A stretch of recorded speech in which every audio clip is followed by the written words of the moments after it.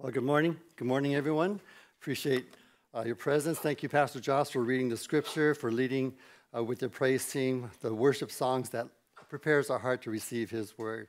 Uh, you know, as, as uh, Pastor Josh said, we're moving into um, the second part of our series, uh, God Made in God's Image, and we're going to be look, looking specifically at what is a man. Welcome to those online, too, if I didn't say that already. I'm Pastor Brian, if you didn't know that already. Uh, I um, appreciate, again, your presence here that we could worship together. So let's pray before we begin. Father, as we come here this morning, and maybe we're thinking about the attempted assassination of former President Trump yesterday. It could be on our minds and our hearts as it's been on the news 24 hours so far. We pray, Father, that as our hearts might be unsettled, and maybe feeling sadness of how our nation is in such a divided state. Because of your great love, demonstrated through your Son, Jesus Christ, his life, his death, and resurrection, we know that you love us and accept every one of us, man, woman, and child. We are gathered here to worship you, and may you, please, may you calm our hearts. May you bring peace to our souls in such chaotic times to hear your word as you minister to us by your Spirit. We pray this in the precious and holy name of Jesus Christ, our Lord and Savior. Amen. So, you know, there's a lot on our minds, but I do pray that the Holy Spirit would calm our hearts, that we could hear God's word in this, I think, important series about identity and how we might identify ourselves. You know, when I say back in the day, it's like a long time ago. So, back in the day, when I was in high school and during my college years, I remember, and some of you might remember that we were struggling with some similar things that you're struggling with today as a young person, uh, and we called that an identity crisis. It was just actually called an identity crisis. And uh, questions like, who am I and what's my purpose, uh, were asked by teens and college age people like myself. You know, it was a genuine and deep, deep concern for me and many others in that time, and so much so that some even considered taking their lives because of the confusion of their self. They were lost. We were lost. It was, we, were, we were stuck in our lostness. And lostness is a lonely place, if you've been there before, where everyone except you seems to know who they are and a sense of where they belong. Compared to when I was going through this, uh, this time, it's hard to comprehend uh, the difficulties of this generation's identity crisis. Today, in our series about identity, we are looking more specifically at answering the question what is a man from the scripture you see. And because a man's purpose is closely tied with his identity, the answer to this question, what is a man, uh, will be talked about in two parts. Who is man, and what is his purpose? The answer seems simple enough in our minds, but to today's context, I, I think it's really uh, complex, really complex. De- de- defining a man is, is not as simple as it once was because of the various pronouns and, that people use to identify oneself. Today was today we'll be looking at different ways people identify themselves. It can be complicated and confusing, but to love and respect our neighbors, I think it's important that we try very hard to address, best address a person's preferred gender identity. Understanding pronouns is essential to address people accurately and respectfully. Using the correct pronouns for someone is important, just like pronouncing their name correctly is important. It shows respect and love to that person that you are communicating with. Most, if not all, of our younger generation, and you can place yourself wherever that might look, the younger generation will be familiar with a few terms that I'm going to kind of go over, just a very brief summary. Uh, but for people of my generation, again, wherever you want to place yourself, uh, may not be aware of these phrases. They're very common terms in many people's minds, but for, for a person my, like myself, I was like, it took me a while to, to really understand this stuff. So the identity crisis happening today, I think, is in a whole new world, a whole new context. And here are just a few words that I found helpful in understanding some difficulties uh, in defining who we are. So you see here a chart, the three words binary, non-binary, and transgender. So, binary defines a person in the two categories of either a man or a woman. The term cisgender falls into this category where a person identifies with the sex in which they were born. In today's vocabulary, I'm cisgender. Non binary is a term used by those who do not describe themselves or their genders as fitting into the categories of a man or woman. They, them is an example of a term used by those who identify as non binary people. So, an example of a person who is uh, non binary uh, is transgender. So, transgender or simply trans is an adjective used to describe someone whose gender identity differs from their sex at birth. Transgender people may be lesbian, gay, bisexual, or queer. For transgender people, gender identity differs in varying degrees from their sex at birth. So these are terms that are kind of explains what's happening and the confusion that goes with that. So these are a few terms that people identify themselves. So, so why is this important? Why is this important to understand? Okay, so Mary Emily O'Hara a communications director officer at GLAAD, She says this Pronouns are basically how we identify ourselves apart from our name. It's how, we, how someone refers to you in conversation, says Mary Emily O'Hara, a communications officer at GLAAD. And when you're speaking to people, it's really simple way to affirm their identity. Using the correct pronouns for trans and non binary people is a way to let them know that you see them, that you affirm them, that you accept them, and to let them know that they're loved during a time when they're already being so targeted. You know, this church, uh, your church, SanLo, strives to be, what this says here, a gospel community of growth for every generation. To bridge between cultures, ethnicities, and generations, having some understanding of the vocabulary people are using can help bridge these gaps. For my generation, it's a willingness to acknowledge the younger generation's way of identifying themselves. For most people, gender identity aligns with the sex they were born with. Being born male or female identifies you as a boy or a girl, a man or a woman. Today, it's not as simple as that, which I feel adds to the present identity crisis that people are going through. As followers of Jesus Christ, you who know Jesus Christ and as Lord and Savior, we are all called to love our neighbors. In light of yesterday's assassination attempt upon former President Trump, loving and respecting others with differing views is a highly urgent matter. As Christians, we need to do our best to usher in the peace of God in the divisive atmosphere that we currently live in. This includes loving and respecting those who identify themselves differently than we may be used to. It's challenging, but it's a call to love our neighbors. And maybe, you know, you might be anxious, like me, in addressing a person correctly. You might ask, but what if I make a mistake using the incorrect pronouns? So you say nothing. If you make a mistake, which I know I have, and we probably will, and use the wrong pronoun for someone, don't dwell on it or make excuses. Simply apologize, restate what you said using the correct pronoun if you know it, and then carry on. What's important is recognizing and respecting, respecting people as individuals of being created by God. For this morning's message, I wanted to briefly touch upon these terms to acknowledge that in today's world, asking what is a man is not as straightforward as it may seem like it was in the past.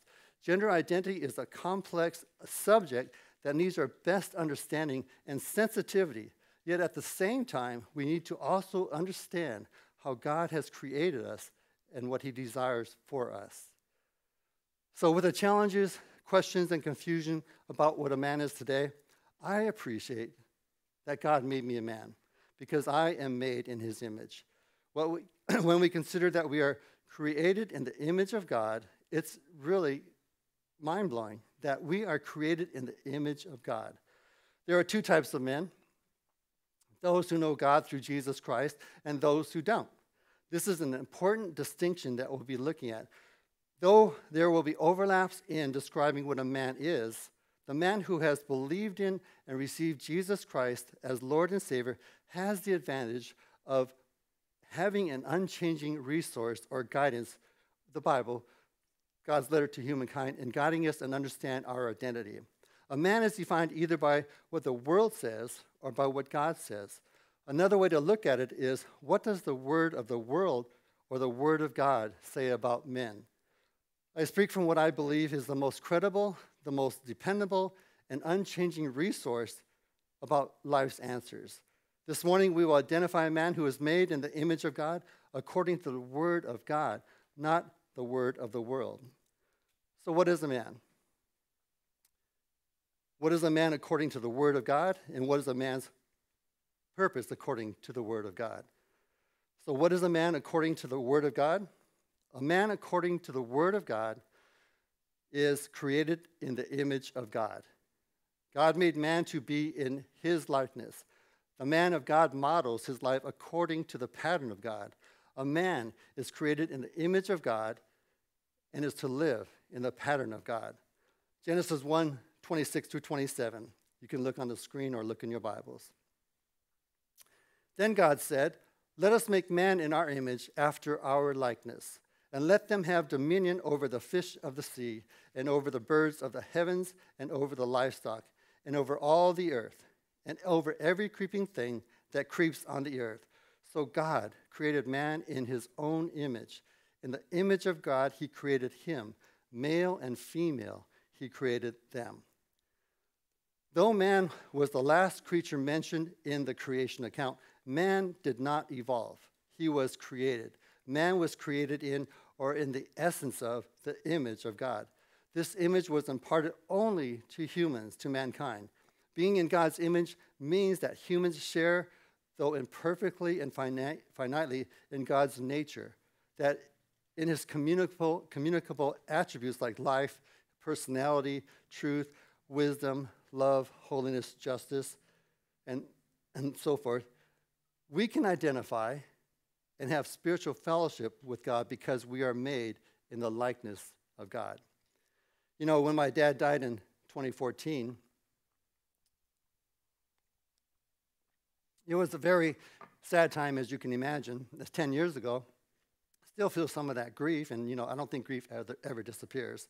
But there was even a funny moment in that time that I thought would be a, a good illustration or example of what it's uh, like being, in, made, being made in the likeness of another. So, you know, I've heard many, many times how much I look like my dad, the way I, I talk, the way I act, the way my build, all these things, the way I walk even. And my mom and dad lived in a really good assisted care facility in Seattle.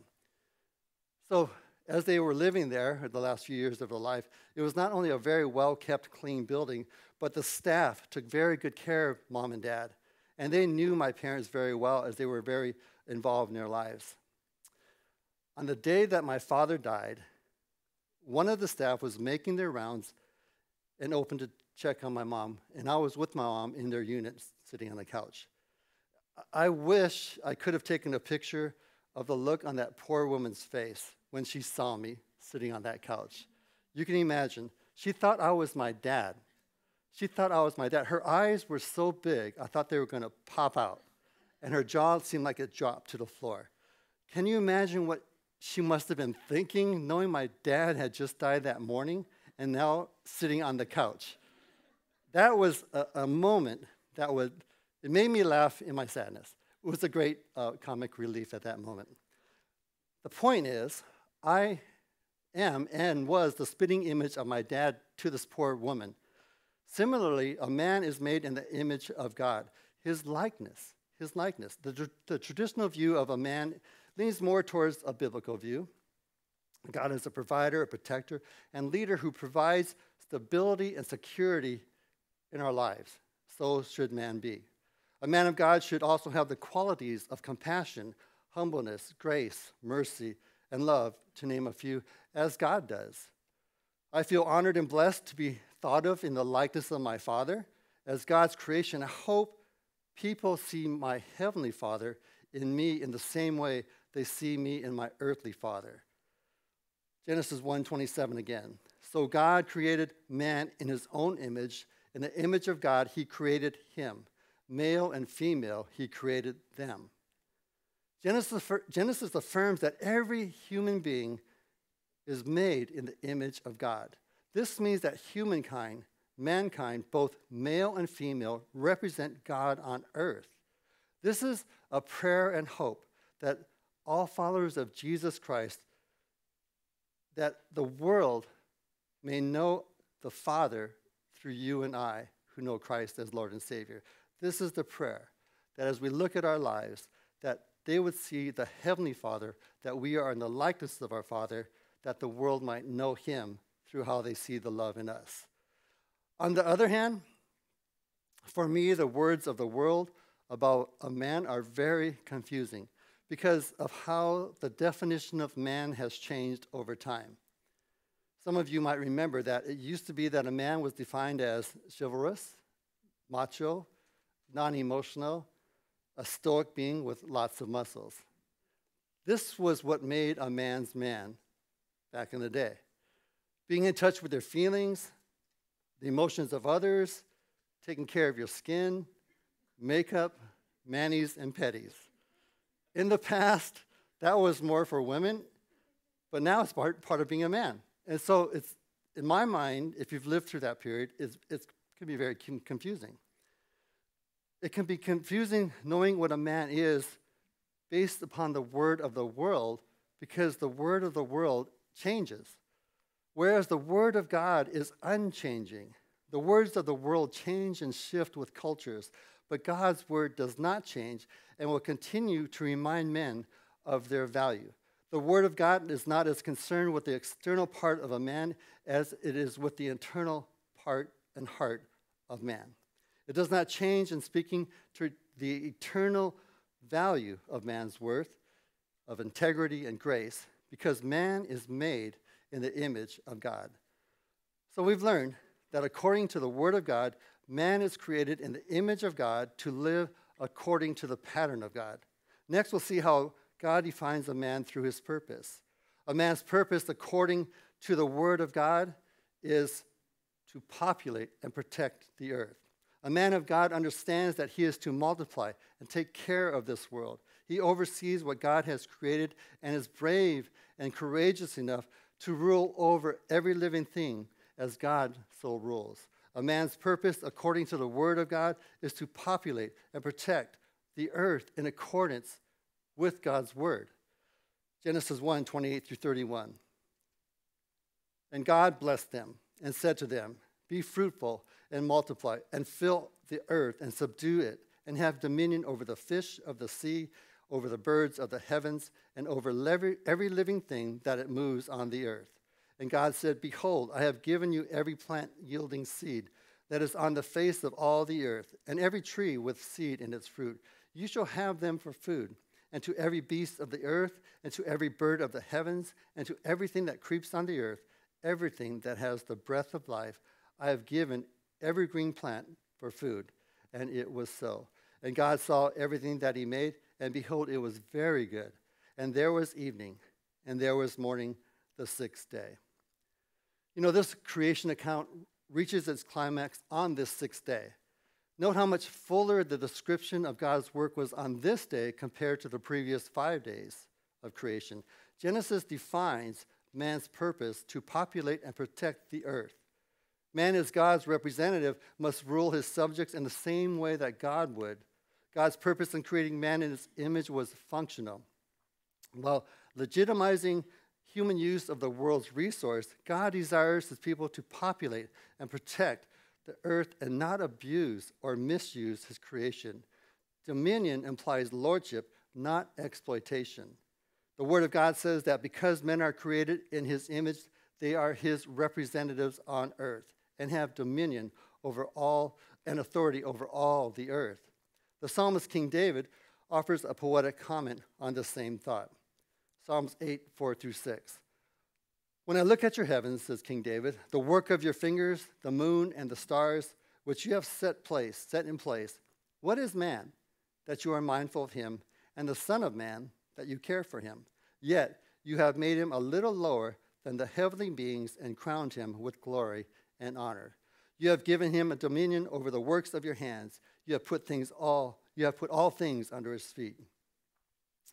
So just recently, and while I'm preparing for this sermon, I, had, I came upon a recycling thing in my own life. And you know, recycling is a good thing, but it can be difficult because it's, it's, there are a lot of things that go on with recycling. But it's worth the effort to make it because it helps to protect and care for this world. And this is not everyone's conviction. This is what was convicted upon me when I'm preparing for this sermon and before. So, so for instance, what I'm talking about is an example of how recycling can be challenging. I recently found out that painted wood is not accepted as compost, makes sense, at garbage landfills, at ha hazardous waste facilities, or even those free bulky waste pickups. It's not accepted or received at these places landfills, hazardous waste, free bulky pickup, or the garbage. So, what, what are you going to do? And that's my question right now. I don't know what to do. So, when I'm preparing for this message, you know, I have a saw at home, a power saw, and it's only like half my truck, so it's not much for me to cut into pieces these pieces of wood and throw them in a black garbage bag and then throw it in the garbage can. Who's going to look at the black garbage bag? Nobody. That's the temptation I have. And I, I am fighting that because I have no idea where to go. One person in the uh, waste management told me you have to go to Livermore to do this delivery of this painted wood. And I go, and Livermore is not that far, I understand for people in Livermore, but for me to go to Livermore to discard piece of wood that I could cut up and throw in a garbage bag is, is some work for myself. The point of this, this illustration is that, you know, I'm learning and growing to be a man of God. And for me, the conviction is, how do I protect this world? And recycling is one small way that I can do that and actually do it. It might be costly, but it's worth it, and that's the call that God has for us. So, you know, when I began this message, I talked about the changing climate of gender identity, gender and identity. And we have come to see that to love our neighbors, we need to learn how to love and respect others who might view life differently than us. At the same time, God has created man to live according to his word to fulfill his purposes. More profoundly, that we might be men of character, as the Apostle Paul urged in 1 Corinthians 16 13 through 14. Be watchful, stand firm in the faith, act like men, be strong, let all that you do be done in love. Those are strong words by Paul the Apostle. Paul was exhorting leaders of that time to act like men, to be brave, to be strong and courageous in the face of challenges of being a leader, which at times can be very uncomfortable, it can be very risky, and sometimes dangerous. He was also speaking from his own experience, the Apostle Paul. Remember that before Paul became a Christian, before he knew Jesus Christ as Lord and Savior, he was a high ranking Pharisee who persecuted Christians, beat them up, jailed them, and even have some put to death. When Paul became a follower of Jesus Christ, he made the hard and courageous and brave decision to leave being a Pharisee. He not only left the prestigious, uh, prestigious position of power, but some family and friends abandoned him for his faith in Christ. Paul walked the talk. He stood firm in the faith. You know, men, there might be times in our lives that we need to make hard and costly decisions in our pursuit of Jesus Christ. But as Paul exhorts, stand firm in the faith, act like men, be strong, and let all that you do be done in love. You might need to make the hard decision in your family to confront wrong attitudes that negatively affect your spouse, your children, your siblings, your aunts, your uncles, etc. Those are hard decisions that, as a man of God, you might have to confront. Maybe there is a need to speak to a, a male coworker who is treating a female coworker inappropriately. That takes courage because you're risking possibly your job and ridicule. Is there a family friend or coworker that is being mistreated because of how they identify themselves? What is the Spirit of God saying to you in these situations and beyond as you think about how God wants all of us, men in particular in this passage, to take that step, to make that decision, the hard decision, the courageous decision to stand firm in the faith and act like men. But all of this is to be done in love. You know, we could be, it could be the other way where we become so uh, militant that we just kind of bowl over everybody in our, our machoism. That's not what God's saying. He's saying, in understanding who I am as your father, there are things in this world that we need to take responsibility for to step out and confront those things that we see are not right. We need to be strong in our faith, act like men, but do it all in love. Even in this climate with, with what's going on right now with uh, former President Trump and the divisiveness, divisiveness, divisiveness of this nation, it starts small with you and I and how we communicate to each other. Whether or not we agree or disagree with each other, it doesn't matter. It's respecting and loving one another as God calls us to love our neighbors as followers of Jesus Christ. You know, when we hear these things in the news about this is it's condemned. Violence is condemned, and the way that we are acting towards one another, it's a very broad and general statement. But I think as followers of Jesus Christ, each one of us who know him, we can take that small step, the courageous step, but small step of trying to be peacemakers in a world that is full of conflict and chaos. These are some of the things that we are called as men to do, but also as people, as mankind created, male and female, in the image of God. Next week, Pastor Eric will be talking about women being made in the image of God, so he'll probably expound upon some of this more. But for now, what is a man? A man made in the image of God is a man of strong faith protects all of God's creations, and loves as God loves. It's a challenging message, but I hope that we can take it to heart and make a difference in this world, impact this world for the cause of Jesus Christ, that every generation would be the gospel, we would be a gospel community, the gospel community of Christ for every generation. Let's pray. Father, we are grateful for your word. We are grateful that you don't pull punches, that you can bring calm and peace in our hearts in a divisive and chaotic world when we turn to you. I pray, Father, that your Holy Spirit, the power of your Holy Spirit, can bring us that peace, that we could bring peace to others as you have so promised us, that we can have the peace that so surpasses all understanding when we come before you. Father, give us the courage as men and women to stand for you to stand for you in ways that would respect and love others who might differ in opinion or perspective than us. It's challenging, Father, because we are sinful, imperfect people who hold on to things that we think are right, but remind us that right, rightness only comes from the righteousness of your Son, Jesus Christ, in whose name we pray. Amen.